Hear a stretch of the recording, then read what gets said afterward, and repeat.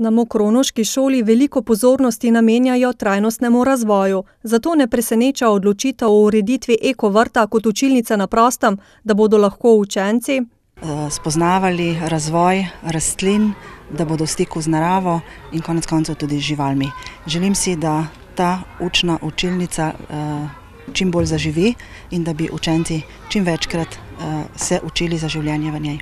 Pobuda je sicer prišla iz Trebnjega, kjer so prva drevesa v mestnem sadovnjaku zasadili že konec marca. Sadovnjak je namreč lahko koristen z več vidikov, pravi pobudnik akcije.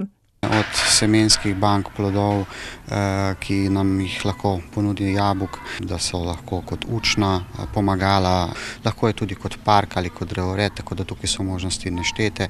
Lahko jih seveda tudi občina uporabi kot svoja promocijska darila.